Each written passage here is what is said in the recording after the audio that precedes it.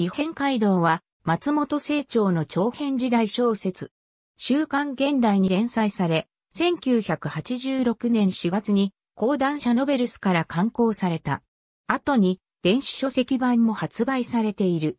1993年にテレビドラマ化されている。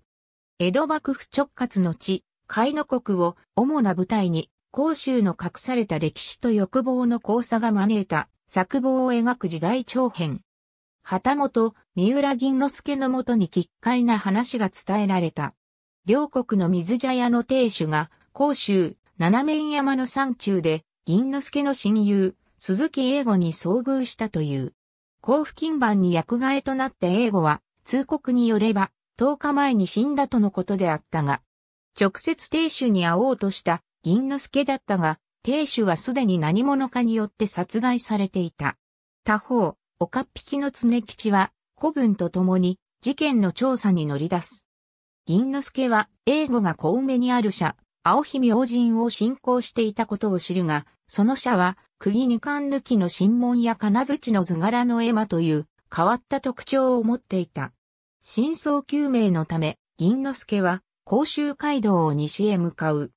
事件探索への黒い圧力に突き当たった常吉も、そして英語を慕う女性も続いて甲州へ後を追う。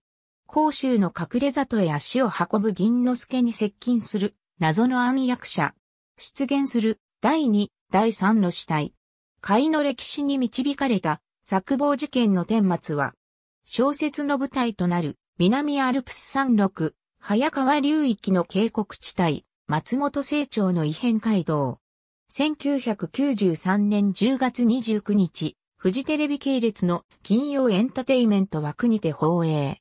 当初は1993年10月13日、放映予定であったが延期され、同枠での放映となった。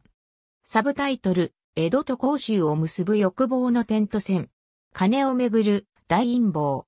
視聴率16.5%。ありがとうございます。